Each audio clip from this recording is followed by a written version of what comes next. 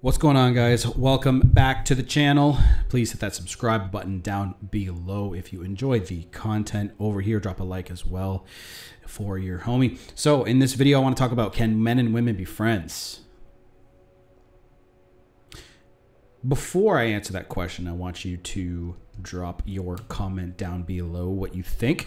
Increasing that engagement signals YouTube algorithm to spread the seed of masculine energy. All right.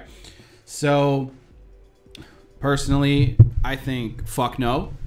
Men and women cannot be friends. Uh, and I'm, I'm going to ruffle some fucking feathers here of some little soy boy bitches and some white knights over here. And some girls who watch my channel. They'll be like, oh my God, yeah, I have male friends.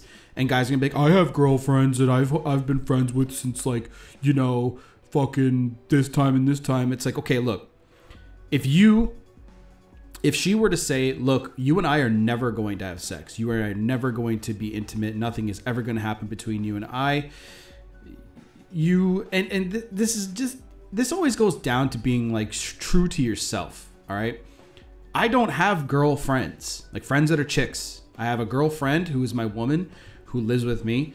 Uh, and the other girls that are in my life that like you know there is one girl that I used to hang out with back in the day that is my friend's girlfriend now. Uh, we're not like friend like we don't hang out, you know what I mean? Like so so that's the thing. It's like it's like dudes just need to be real with themselves and think like do you like okay, like for real. Men are always like like, oh yeah, like you know, we're just hanging out, doing this and that. It's he all he wants to do is he wants to fuck her. He finds her attractive. She's not really down. Like maybe she's getting out of a relationship. Maybe she's, you know, going through a rough time and, you know, does or just doesn't fucking find him attractive. And he's going, you know what? I'm just gonna I'm just gonna sit here and hang out back here on the back burner until uh, you and I can get drunk enough uh, so we can fuck. Any high value man, any man worth his merit is going to know that it is a waste of time for you to spend your time with a woman who you're not you know what i mean? Like like if you're not okay on, on your mind you're trying to think uh, of okay when you hang out with your homies okay? I'm trying to i'm trying to fucking phrase this properly. When you're hanging out with your your your guy friends your your your homies your your dudes the guys that you fucking love to hang out with when you're hanging out with them what do you talk about dude shit cars fucking business money uh, hot bitches. You know what I mean? Bitches that you'd like to bone. Even even in relationships, guys still do that. So if you even go back to like 1950s, 1960s, dudes and chicks were not fucking friends. There's this point in time where we have crossed this like threshold where I don't know if it's internet access or what it is, but there are and there are too many fucking soy boys accepting friendship from women because they think that it's going to work to getting into their fucking pants. Guys just want to have sex with hot girls. Hot, sexy women matter to us. They matter to guys. And girls are looking for safety and security. Look, if she can get you to be paying for shit, drinks, bills, there are guys out there, fellas, that are listening to this right now. There are guys out there in this planet that are paying for a girl's rent, her phone bill, her food, just because she hangs out with him. Hangs out with him. Not because she sleeps with him, nothing, nothing like that. She hangs out with him. She keeps him company. So he's like, oh, I'll just pay for you. That is the biggest crock of shit ever. And here come the fucking ambulances, right? So that is the biggest bunch of bullshit ever you should not be giving a lot of money away to somebody who's not reciprocating in the way that you want. So, fellas, if you're friends with a woman, ask yourself, why the fuck are you? Do you really even give a shit what the fuck she talks about? Like, you know, deep down inside, you don't give a shit about her goddamn nail color.